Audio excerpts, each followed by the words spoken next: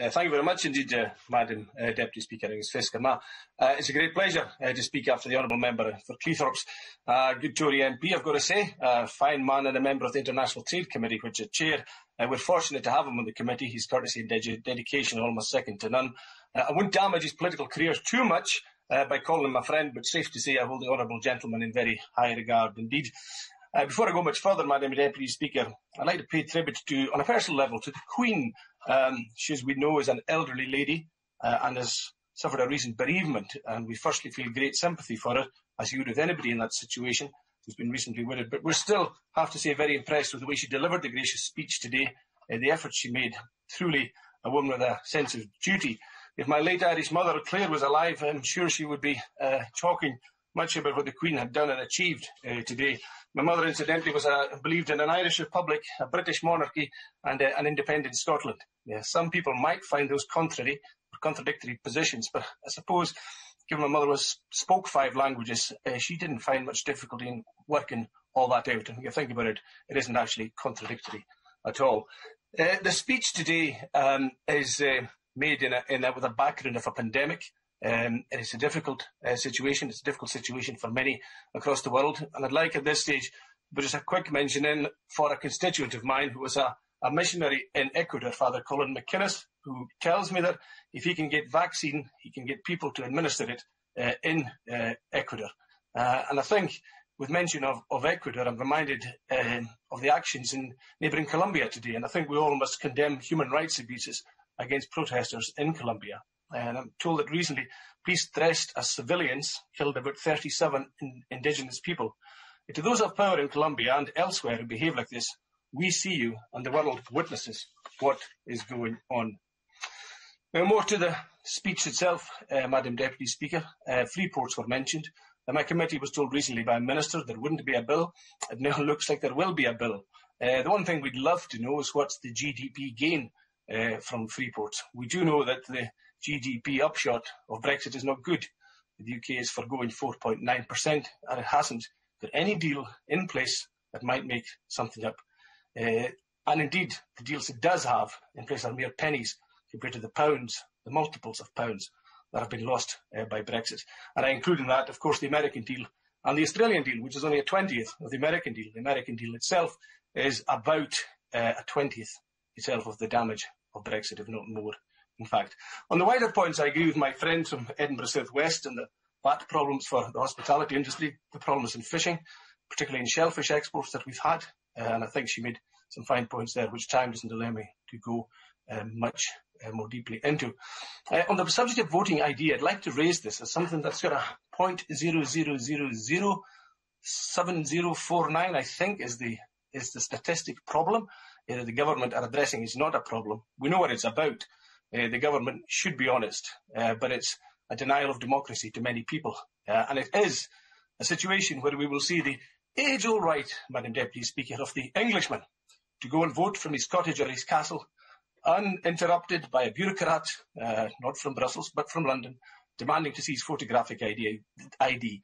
This is about to change, and this is an awful curtailing of the liberty of the Englishman. Fortunately, it's not going to happen in Scotland because we're soon uh, to be uh, independent. And of course, that is the biggest backdrop of this speech uh, today. As my honourable friend from Perth and North Perthshire mentioned, the statistics for the SNP were truly remarkable at this election. First past the post, 48% of the vote. Something that's not been achieved in the UK for over 50 years, in fact longer. It's 1966 uh, since such a victory at a general election uh, was achieved. And the SNP got 85% uh, of the seats that never been achieved in the United Kingdom. So we won the first past the post. We also won the um, the list when we look at the three parties of independence, the SNP, the Greens and Alba versus uh, Labour, the Tories and the Liberals. Uh, we won that. And the combined vote from the two, Madam Deputy Speaker, for those who disagree with it, was actually 2,685,805 versus 2,657,698. So you can see that indeed uh, the independent side won the election, just about every count there is. Now, Tories will dispute this. Some Scottish Tories dispute the fact, and they present all sorts of specious arguments against this. Well, these spurious arguments can be dealt with in one way. The word is a referendum. Let's have it. Uh, let's see how it goes on. Why why, Madam Deputy Speaker, would they be hiding uh, from the people? Let's have the referendum and let's see what the people Scotland want. I'm reminded of the tweet by the leader of the Scottish Tories, Honourable Member for Moray, who said the, the eve of the poll, the voters have a few hours to show the SNP's IndyRef 2 plan the red card, making an allusion, an allusion, of course, that he's a football referee.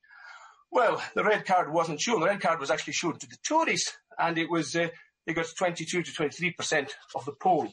Uh, so they are on a hiding to nothing, and the Scottish people are coming more and more uh, towards independence.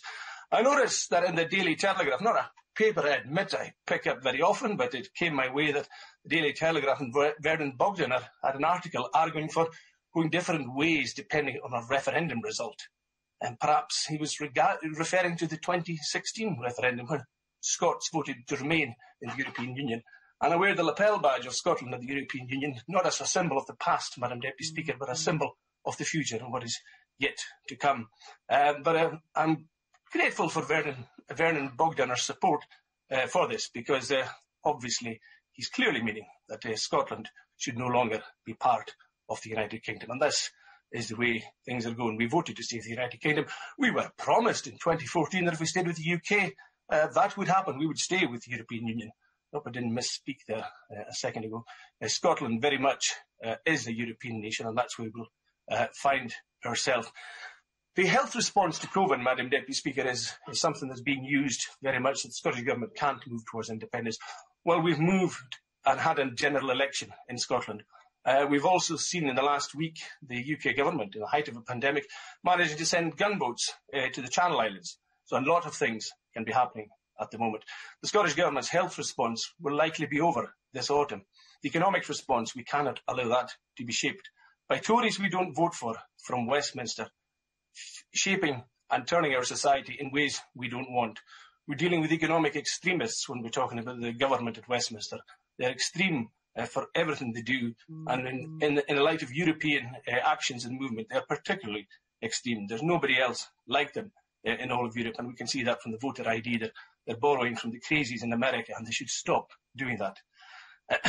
One way or the other, we will have our independence. We'll either have it in a referendum, and if those are blocked, we will have it in an election, either in 2026 or one contrived before that. The Scottish people will speak at the ballot box. They will vote for independence, and it would be better if the UK government were to behave nobly before that, because afterwards we don't want to see them embarrassed. We want to see them doing the right thing. And finally, Madam Deputy Speaker, I'll leave you the point. My cousin wanted to go and live in Italy, but realises she can't. She isn't fortunate enough to have an Irish mother, as I have. But she said the answer was independence, before I could say it. People are telling me about independence before SNP politicians can. That's how Scotland is changing. Thank you.